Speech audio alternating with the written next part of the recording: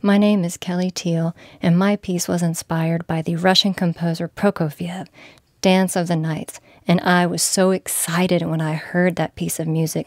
It is big, it is bold and powerful.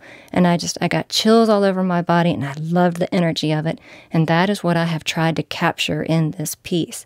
The birds to me are Romeo and his pals fighting over Juliet at the ball and I was just going for the energy and the movement of that piece. The musical piece is so big and so powerful that I just I had to do some big brush strokes and bold movements.